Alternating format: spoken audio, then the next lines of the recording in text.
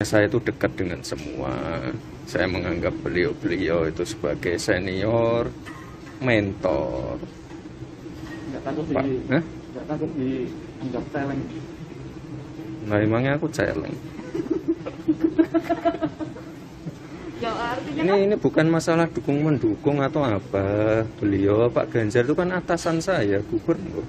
Ya apa pun itu saya kan pasti konsultasi saya, Pak, ini boleh ndak? Kayak kemarin saya juga titip, Pak, ini balik kambang ini gini loh, Pak. Ada tanah provinsi, mau dibantu. Seperti itu, kan harus lapor atasan. Ya kebetulan kemarin ada Pak Skenario.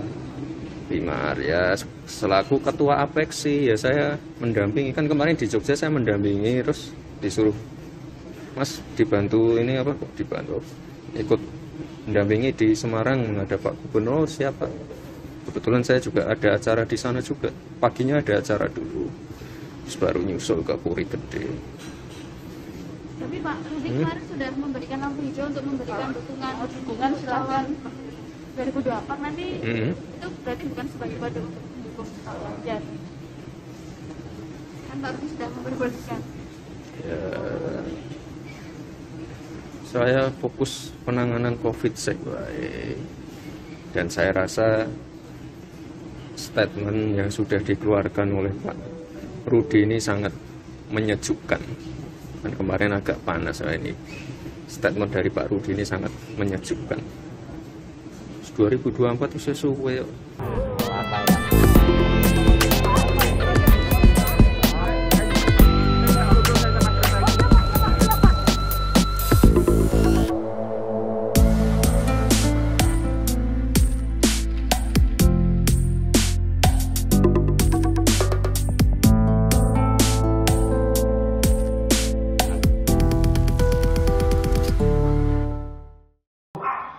saya sangat mendukung dengan teman-teman yang dikatakan banteng celeng ini tidak perlu berkecil hati. Dan itulah demokrasi. Cepat lebih menguntungkan itu singkatannya celeng. Nah, ini ini kalau yang namanya mengenalkan seseorang itu tidak dari awal, ya kapan kenalnya. Dan Pak Ganjar sendiri kan juga tidak minta untuk dideklarasikan. Yang mendeklarasikan adalah rakyat Indonesia yang mengetahui kinerja daripada Ganjar Pranowo.